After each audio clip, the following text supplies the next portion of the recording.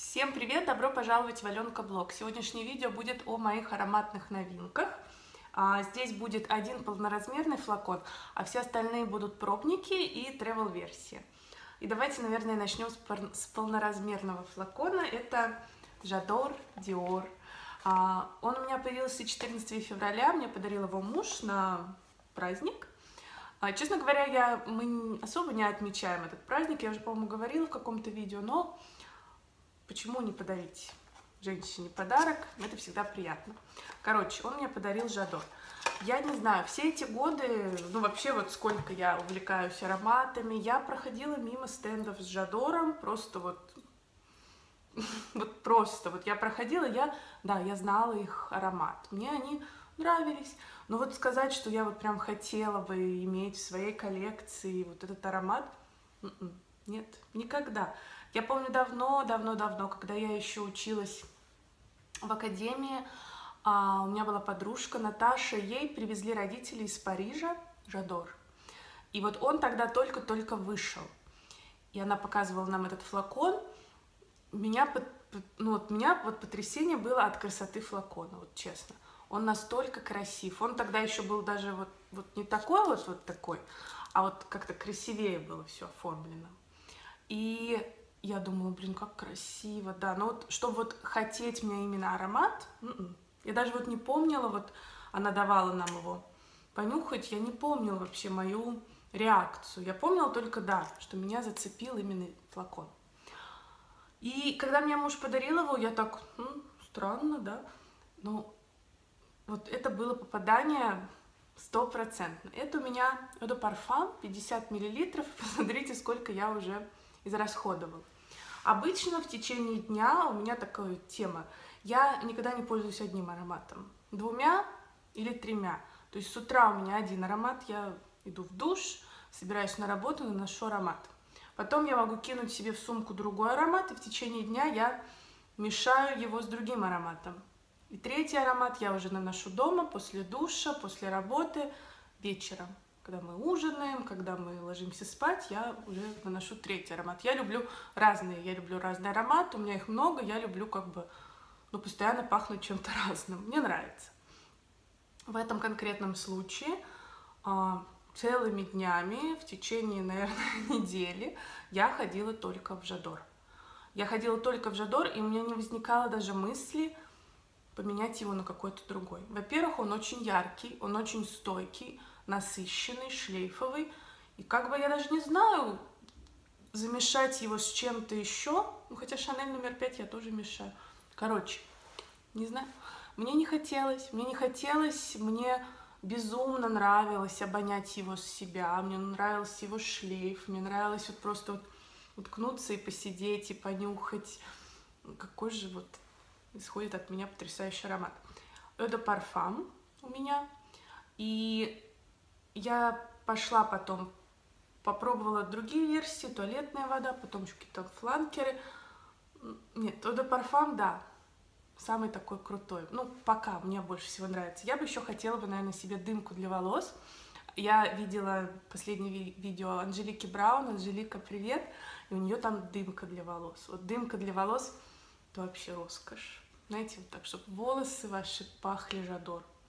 Он, он более облегченный, да, ну, это такой классный, классное дополнение вот ко всему. Что я здесь слышу? Ну, прежде всего я слышу здесь жасмин, дыню и грушу. Вот груша, знаете, такой компонент, который или нравится, или нет. В каких-то ароматах я прям ну, не могу вот выносить вот эту грушу, когда она такая вот кислая и как будто бы, вот знаете, такая приторно-сахарная я не люблю. Здесь груша более такая свежая, сочная, практически не пахнет. Знаете, такие китайские груши, это вот мой самый любимый, кстати, сорт груш. Китайские груши, они такие белесые, жесткие, внутри такие белые-белые и очень такие сочно-водянистые. Они практически без запаха, практически без вкуса, но они такие хрустящие. Вот здесь я слышу именно какую-то такую хрусткую, э, холодноватую, неприторную грушу. Мне это очень нравится. груша, дыню я слышу. Дыню, вот, знаете, вот если вот прям я очень ее хорошо слышу, у меня даже была такая идея, я все думаю, как бы мне сфотографировать Жадор, я хотела купить дыню, разрезать ее пополам, положить туда этот флакон и сфотографировать. Может быть, как-нибудь я повторю, потому что вот на первых вообще часах, на первых днях своих знакомства, своего знакомства с этим ароматом я очень хорошо слышала именно дыню. А, и жасмин. Вот жасмин, жасмин, жасмин, такой, вы знаете, мой муж даже, он выучил это слово, как-то в машину я села, когда мы ехали утром, он говорит, индольный аромат. Я говорю, ты чего? Нет. Ну, он поржал, но он знает, да, что жасмин может выдавать индол, и вот он так, типа, пошутил. Нет, для меня он совершенно не индольный. Но это аромат, знаете, вне возраста, вне времени, вне какого-то... Вот реально он не, вне времени. Вот когда он был изобретен, это потрясающий, потрясающий люксовый аромат, который может, ну, тягаться с какими-то вот просто, мне кажется... Ну, я не разделяю особо для себя нишу, люкс. Что-то хорошее есть и там, что-то прекрасное есть и там. Но здесь это вот вообще какая-то такая история, которая стоит вот где-то вот особняком. Мне безумно нравится. Жадор, я вообще даже не представляю, как он может кому-то не нравиться. Женственный, сексуальный, не побоюсь этого слова. Да, он сексуальный, он какой-то, вот знаете, чувственный, его хочется постоянно обонять. Я получила кучу комплиментов от девочек. От девочек, хочу заметить, а мы были на пикнике, я приехала туда, вышла из машины, пошла к нашим, ну, к, ко всем к друзьям, и просто вот мы обнимались с девчонками, привет, привет, каждая, вот, вот такого вообще никогда не было, что каждая сказала мне, как от тебя пахнет, что это такое. Я говорю, это Жадор. Да ладно, Жадор. И все такие, а, Жадор. Ну, все, наверное, думали, что я сейчас скажу какую-нибудь такую, о, ля-ля-ля, Жадор. Жадор меня сразил на повал. Как я раньше его вообще пропустила. Ну, видимо, всему свое время. Вот сейчас пришло мое время любви с Жадором. Прекрасно. Это прекрасно. М -м, потрясающе. И вы знаете, он и в базе хороший, и в начале хороший, и в сердце. У меня нет слов. Прекрасный аромат. И следующий аромат, который у меня появился, это вот такая ручка от Elizabeth and James. Нирвана, Бурбон. Элизабет и Джеймс, сестры Олсен, я их обожаю. Я обожаю их стиль, они, ну, я не говорю про их актерские там таланты. Я люблю их стиль. Стиль в одежде, стиль вообще во все, в подаче себя, как они выглядят, их волосы, что они делают, конечно. Их, э, они дизайнеры еще плюс ко всему, они делают прекрасные вообще сумки, которые бы я хотела, конечно, обладать но они очень дорогие. И да, ароматы. Ароматы, линейка у них потрясающая. Просто я давно к ним присматриваюсь, но знаете, все время думаю, ну блин, ну куплю лучше вот это, куплю лучше вот это. Когда только вышла Нирвана, а, белая у них была и, по-моему, темно-коричневая или черная, если я не ошибаюсь. Я очень хотела себе белую Нирвану. Это прекрасный, прекрасный ландыш, пион. Ну, в общем, такой очень классный запах. Если не пробовали, попробуйте обязательно. И все остальные фланкеры просто на высоте. На высоте они вот, знаете, они не замысловатые по пирамиде, но они ладно скроены. Они ладно скроены, они яркие, они вот, ну, они, вот за них не стыдно, знаете, вот бывает, селебрити делают ароматы, я не буду говорить, кто конкретно что, ну, о чем это? Ну да, понятно, это там раскрутка, вы, ну, им нужны деньги, да, это вот имя, что там внутри этой бутылочки, никому вообще до этого нет дела. Здесь реально вот люди постарались, люди вот вложили, как бы, видимо, ну, это они контролировали процесс, может быть. Ну, короче, аромат Элизабет Джеймс Бурбон. А, я его купила вот в таком вот флаконе. Я попробовала все, вот купила этот. Он мне показался самым таким интересным. Не на лето, наверное, да, все-таки, а когда у нас будет похолоднее. Элизабет и Джеймс Нирвана Бурбон. Что же это такое? Это очень яркий, очень теплый, такой спецового древесный аромат.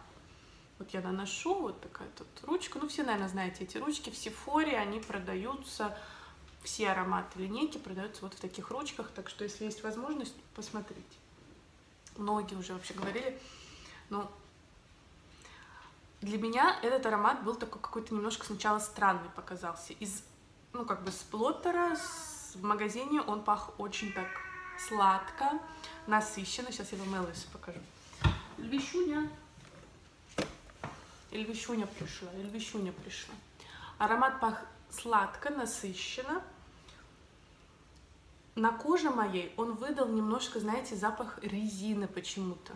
Резины, такой вот, знаете, жженой, черной резины с ванилью и с деревом. И это было вот прям интересно. Это было интересно, это было в духе, знаете, Ком де Герсон, в духе каких-то вот таких костюм националь, в духе тех же сердец, uh, Map of the Heart, который я говорила. Это было неожиданно и неплохо. Он густой, аромат насыщенный. Он, я бы, конечно, хотела бы, чтобы он как-то раскрывался в течение дня, но он вот пахнет вот как, как начале, потом сердце база, в принципе, вот на одной ноте. Вот он так продолжает пахнуть. Когда-то там какой-то определенный период больше ванили, сладости, в какой-то определенный ваниль, период больше именно дерева. Но аромат заслуживает внимания. Наверное, я не куплю себе большой флакон. Для меня это все-таки уже немножко пройденный этап вот этот, такого плана ароматы. Мне сейчас хочется больше каких-то, знаете, вот зеленых, шипровых, мшистых, может быть, каких-то акватических даже ароматов. Совсем другую хочу уйти историю. Пока вот на такую вот гурманику не очень тянет. Я не могу сказать, что это прям гурманика, нет. Здесь есть такой немножко брутальный акцент, тут не все так сладко. Здесь вот реально вот мне понравилась именно вот эта нота жженой резины. Если бы она была дольше, мне понравился этот аромат больше. Он вот какой-то более был бы интересный, но тем не менее. Он приятен, он необычен, он выгодно отличается вообще от многих ароматов в той же Сифоре. Когда я вот все пробовала, они стоят вот просто на много-много голов выше даже какого-то там люкса, например. Классно. Еще один аромат, который у меня появился, это аромат от бренда Tiffany. Но этот аромат, это не новинка этого года, это достаточно, оказывается, старый аромат. Я посмотрела на фрагрантике каких-то 80-х годов, 87-м, 80 ну что-то такое. Кому интересно, посмотрите. А муж у меня его случайно нашел в каком-то маленьком бутике и купил мне, привез. Спасибо ему за это. Он говорит, представляешь, я не знала, что у Тиффани есть аромат. Я говорю, ну да, вот есть, оказывается. А аромат в силу того, что он, да, он старинный, он по-другому сделан. Вот знаете, я его нанесла вот сюда. Это цветочный аромат, аромат пудровый. Пудра здесь такая винтажная. Я не люблю немножко такие пудровые ароматы с винтажной пудрой, такая старая уже, такая немножко залежавшаяся пудра.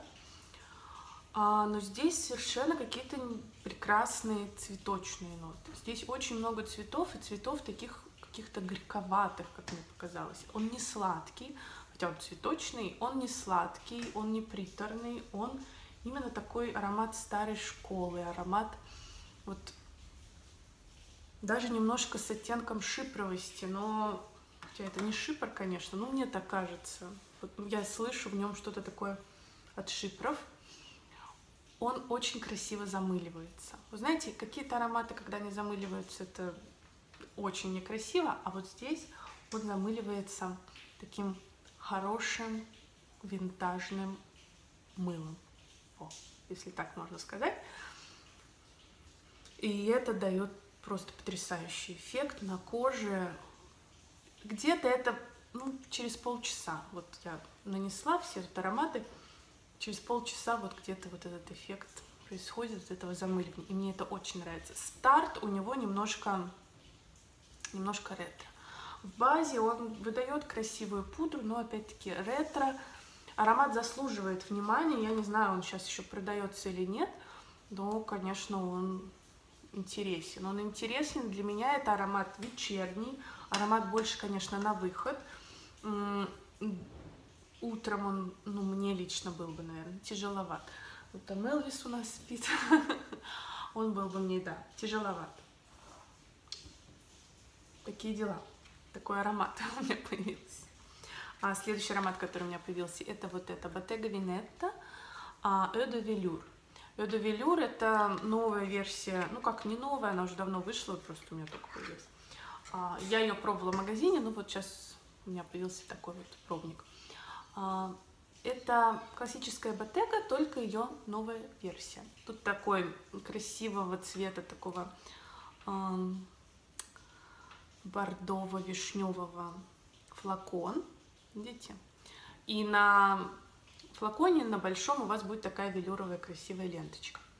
Мне он очень понравился. Знаете, мне этот аромат понравился настолько, что когда у меня, наверное, закончится моя классическая, я вам ее покажу, где она, я бы даже, наверное, купила бы себе на ее смену вот эту.